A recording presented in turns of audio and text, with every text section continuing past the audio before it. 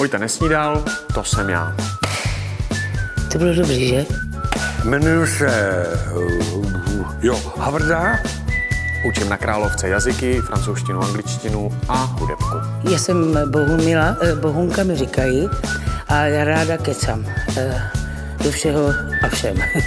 Jsem emeritní ředník a také vášnivý akvarista. Všichni si myslí, že jsem jenom hloupá uklízečka. No je teda pravda, že se místo titulu oháním eh, jenom hadrem, ale je to lepší než kabelečkou. Bohunka? Naše uklízečka Bohunka?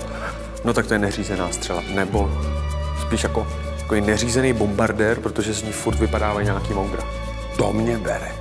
Já jsem to sice dotáhla na Gimpl jen jako uklízečka, ale to se změní. Ona je milá, tedy celkem. A hodná.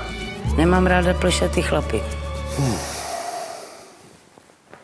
Hraju rád na harmoniku.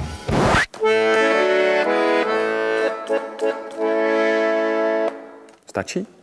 Takhle? Já na tu harmoniku hrát nebudu. Já miluju kolektivní sporty, jo? Tak pojď, Srbe, pojď. Sportem to taky není slavný. Na vejšce jsem se porval a od té doby kulhám.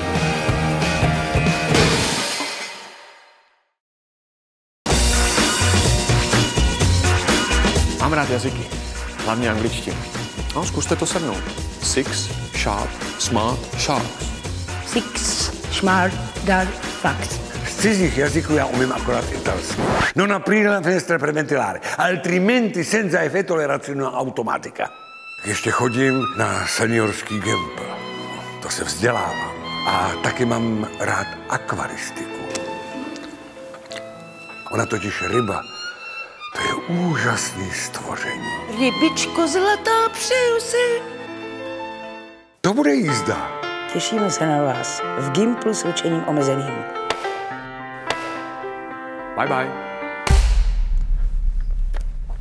Kuci, to je docela těžký tohle.